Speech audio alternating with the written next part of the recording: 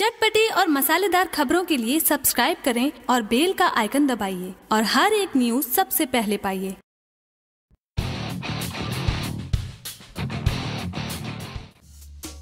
अभिनेता से नेता बने निरहुआ की पहली भोजपुरी फ़िल्म सैया जी दगाबाज बिहार और झारखंड के बॉक्स ऑफ़िस पर रिलीज़ किया गया। जी हाँ निरहुआ की सैया जी दगाबाज बिहार और झारखंड के बॉक्स ऑफ़िस पर रिलीज़ होते ही ताबड़तोड़ कमाई करना शुरू कर दिया। आपको बता दें कि सैया जी दगाबाज बिहार और झारखंड के बॉक्स ऑफ़िस पर करीब पचास से ज़्यादा सेंटर पर फ़िल्म को रिलीज़ किया गया और सभी सेंटर पर फ़िल्म को ज़बरदस्त रिस्पॉन्स देखने को मिल रहा है। ऐसे में सभी भोजपुरी दर्शक यह जानना चाहते होंगे की फ़िल्म ने पहले दिन और दूसरे दिन का कलेक्शन क्या किया होगा। मीडिया रिपोर्ट की खबर माने तो फ़िल्म ने पहले दिन करीब सात लाख से ऊपर का बिज़नेस किया तो वहीं दूसरे दिन भी, शनिवार को भी फ़िल्म ने करीब सात लाख से ऊपर का ही बिज़नेस किया, यानी दो दिन में फ़िल्म ने अब तक पंद्रह से बीस लाख रुपए का बिज़नेस कर चुका है। हालाँकि आपको बता दें कि जी दगावाज के फ़िल्म के प्रोड्यूसर या फिर फ़िल्म के डिस्ट्रीब्यूटर की तरफ़ से अभी तक कोई भी ऑफिशियली डेटा शेयर नहीं किया गया कि फ़िल्म ने दो दिन में कितना का कलेक्शन किया है यह डाटा सिर्फ़ सिनेमा घरों में भीड़ के अंदाजन से लगाया गया है। वैसे आपको बता दें कि जी दगावाज में निरहुआ का जोरदार अभिनय भोजप्रिय दर्शकों को काफ़ी ज़्यादा पसंद आ रहा है। खास करके निरहुआ के दमदार डायलॉग पर भोजप्रिय दर्शक सिनेमा घरों में जमकर सीटी बजाते हुए नज़र आते हैं। तो वहीं निरहुआ और